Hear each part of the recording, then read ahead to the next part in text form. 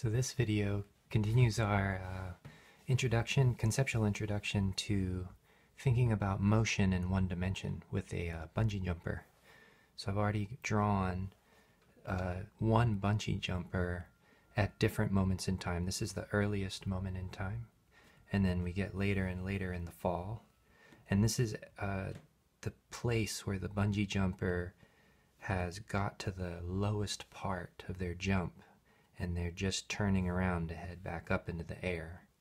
So I'm going to add some information about the motion, about when the bungee jumper is moving really fast and when the bungee jumper is slowing down or speeding up. Information like velocity and acceleration. So with this black pen, I'm going to indicate the velocities. So in the first instant, the bungee jumper is obviously maybe about to head head down. Let's let's say that this is actually where the bungee jumper steps off the platform. And so we'll say the bungee jumper is actually momentarily at rest but is about to pick up motion. So this is the first time that we check in and notice that the bungee jumper is headed downwards with uh, with some speed. A little bit later in time, the bungee jumper is going faster with a bigger speed but headed downwards. A little bit later in time, the bungee jumper is moving yet faster, so I'll put a longer velocity arrow. And here, later in time, the bungee jumper is moving quite quickly. So a big velocity arrow downwards.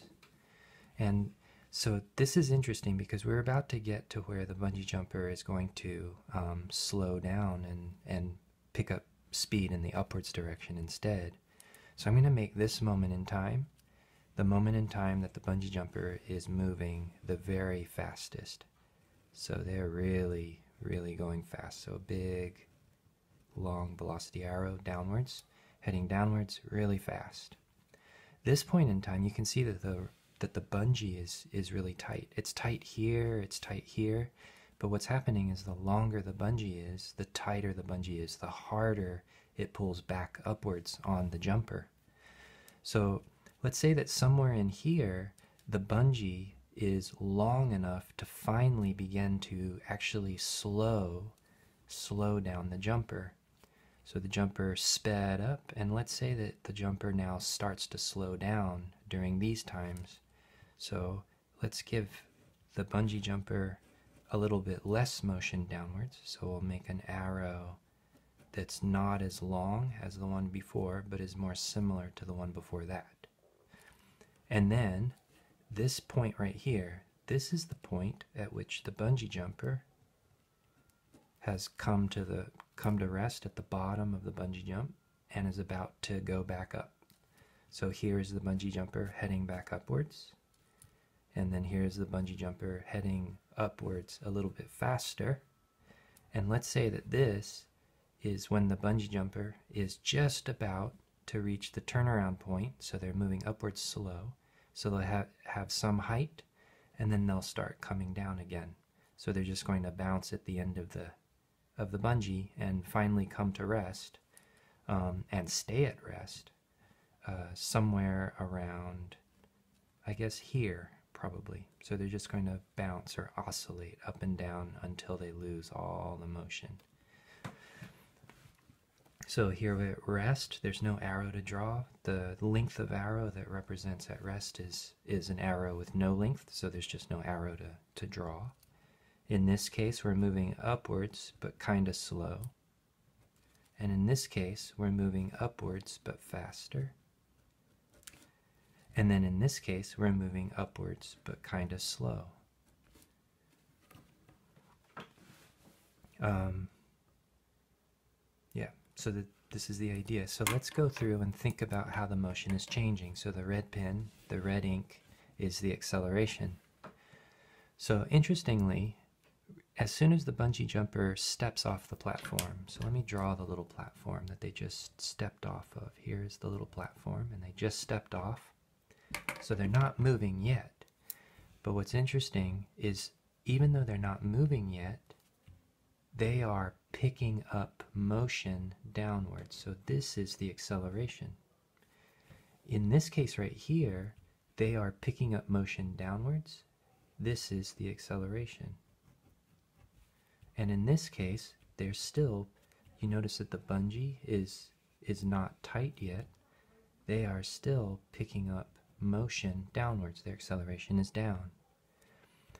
This is an interesting case. They are still headed downwards. They're still picking up speed, right? They sped up between here and here. But the bungee has just become tight.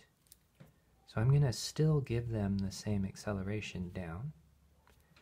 Between here and here, the bungee is even more tight. They still picked up speed, so the acceleration is still down, but because this bungee is somewhat tighter, their acceleration is a little bit weaker. So I'm going to draw this arrow a little bit smaller than this arrow. In this case, they're still picking up speed to the next moment in time that we're checking.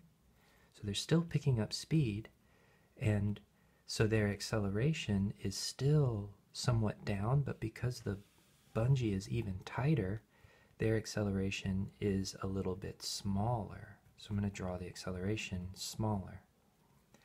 An interesting point in time happens actually maybe right after this moment in time. If you look really carefully, the speed has just decreased over this time. So somewhere in between this time and this time, the acceleration has actually switched directions. So at this moment in time, we could say that actually the acceleration is upwards because what has happened is I started this time interval, I started with a large motion downwards and ended it with a smaller motion downwards. So I must have removed motion, and the acceleration describes the fact that the that the motion has decreased downwards. So this is an increase upwards. Um, so what's interesting though is so this is a really tight, really strong bungee right now. And so it's going to provide a gigantic acceleration upwards on this object. What's interesting about this moment in time though is that the motion is zero. So here we are at the very bottom. This person right here would know that they are not moving up or down at this moment in time but they would feel tugging on the on their belt. They would feel a huge force actually that results in a gigantic upwards acceleration. It's it marks the turnaround point between heading down and now heading back up. So when we start heading up though you can see the bungee is shortening that's going to provide a somewhat smaller upwards acceleration than here and we are gaining motion from here to here. We're gaining upwards motion under the influence of that acceleration.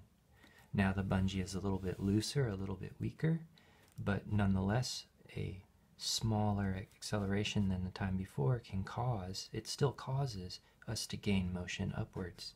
You can see that we sped up upwards under the influence of, all, of the acceleration that's upwards. And then in this case here, um, we're still headed upwards, but what's interesting is we've slowed down. So even though the bungee is still kind of tight, it must be that something else is causing the person to lose motion upwards. Can you see that we gained it here and now we're losing motion upwards, which is a acceleration downwards. Um, this bungee jumper example is, is quite hard. Um, I, I hope this helps you tell the difference between motion and acceleration.